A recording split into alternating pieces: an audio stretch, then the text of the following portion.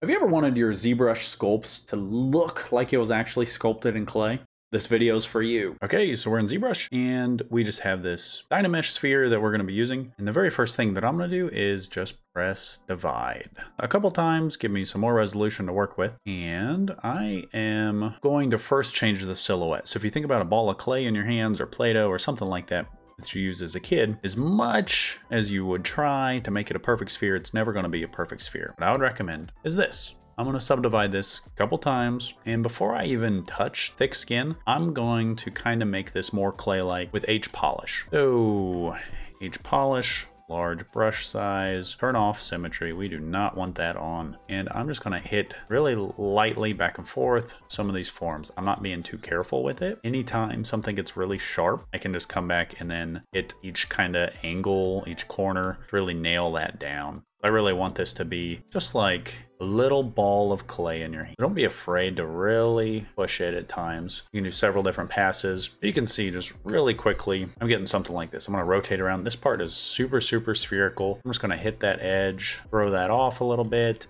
anything's too sharp, we don't want that because this is not like a gemstone or anything like that. You just come in here. This is kind of the basis. There's many ways to do this. Like you could use the clay brush. We will use this eventually. There's so many ways to do this. This is not the only way. This is the way that I like to do it. And honestly, let's say it's like sitting on a table. If you just leave clay out, just the weight of the clay, gonna make it flat on the bottom. We'll use clip curve to do that. Don't forget with clip curve, go ahead and draw out your line. Hold shift to make it uh, perfectly straight. And then if I hold spacebar, I can just move this wherever I want. I just want this a little bit chopped off there so it's kind of like sitting on a hard surface. All right, this is looking much better. So the next step that I would take is kind of like another pass at this, but this time I am going to turn on thick skin. This won't be the final thick skin. This is just another pass at this. So I'm gonna press thick skin and this one is going to be relatively thick. So we're gonna do like 15 or so. And this time I'm gonna use clay. So I'm not even using a thick skin brush. You can use whatever brushes you want when thick skin is turned on. For example, if I use clay buildup, you know, by default, clay buildup just like keeps going, going and going and going and going and going. But let's turn on this just to show you an example. Go, go, go, and then it's gonna hit that wall, that distance, and then it's gonna stop. Same thing if I carve in. Go, go, go, go, go, and it's gonna stop. But we are gonna make this roughly 15, and we're gonna use clay. So take a look at this. We're just going to use the normal clay brush and let's go ahead and hit some of these forms. So what I like to do is come in here and just make these kind of random shapes, these kind of islands in the negative space, or start by holding Alt and carve in a little bit. Just do some of these little islands all over the place. Imagine this being like uh, just the ocean and you're just creating these little forms of water and then you can build up some of these forms um, and just kind of go back. We don't want to do all over the place just kind of hit here and there. And you're going to see it's going to start forming these flat spots and these valleys, but it's also doing like these creases like right here. So if you've ever worked with actual clay, depending upon the clay, obviously, but Play-Doh, I use monster clay a lot, uh, there can be like these little cracks and crevices unless you smooth out this oil-based clay. Um, and this gives it a really nice kind of look. So I'm just gonna hit some of those. Yeah, that looks neat down there at the bottom, a little chunky. Some of those angles are just really, really sharp. So this is a great time to come in here and uh, either carve in, build up around, making it feel a little bit more natural. Cool, so we'll call that good, but I'm gonna keep all the settings the same with thick skin. I'm gonna go ahead and change this to spray. So take a look at this. This is probably my favorite approach to this. I'm gonna hold down Alt and instead of, I'm doing exactly the same thing, but it's just gonna give me this little bit of texture to this. So let me undo. This is gonna give me that little bit of texture.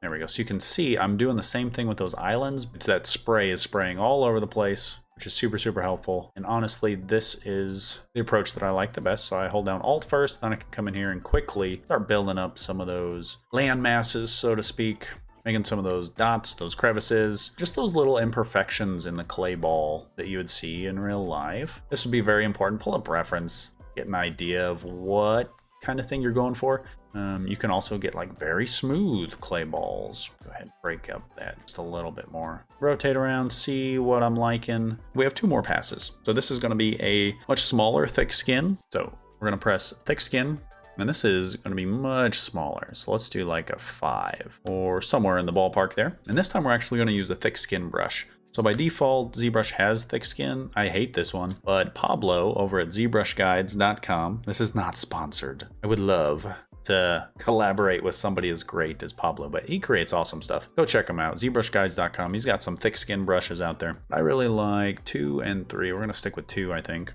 Let's take a look.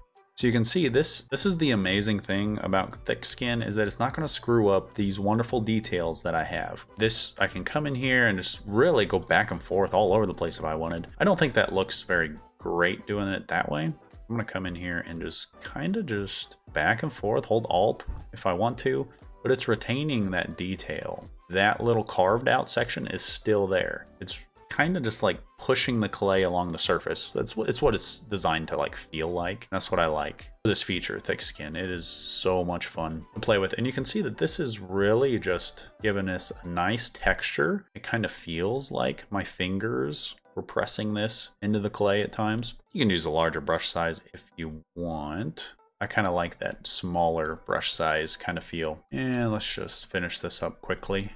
Okay, so you get the idea. This is starting to feel kind of like a clay something. The last step is going to be just adding some fingerprint details to this. So that is easy peasy. I'm gonna go to my standard brush. Um, once again, many ways to do this. Standard brush, and I'm gonna go grab an alpha. I've actually grabbed three separate fingerprints. Um, these are just fingerprint alphas. You can find these all over the place online. Just a black and white image that I can use as an alpha.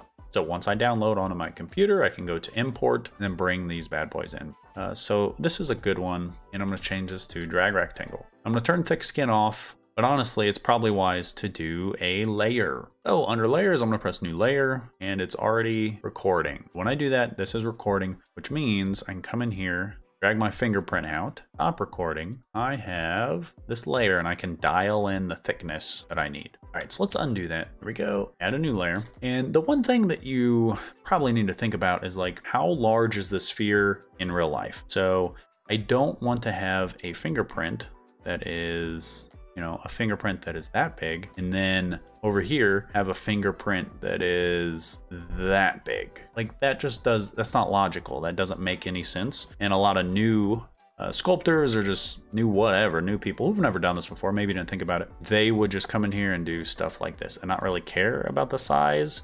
They'll have one tiny little fingerprint and one giant one. It, it doesn't doesn't make sense at all. Don't do that. So what I'm gonna do is just keep that in mind.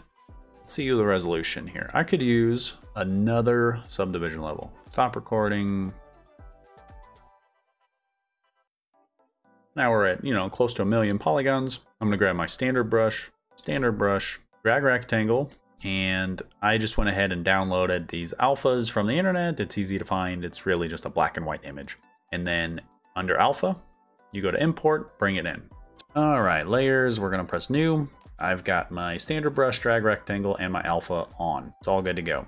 I'm going to left click and drag, and I'm gonna say, yep, that thumb is gonna be roughly that size. So I'm gonna keep that in mind when I am placing these all different directions, roughly that size. Don't be afraid to overlap. A little bit of stretching here and there is a-okay. Actually a good thing, because if you were thinking about rolling this ball of clay in your hand, you aren't actually like you're going to be touching all over this ball of clay.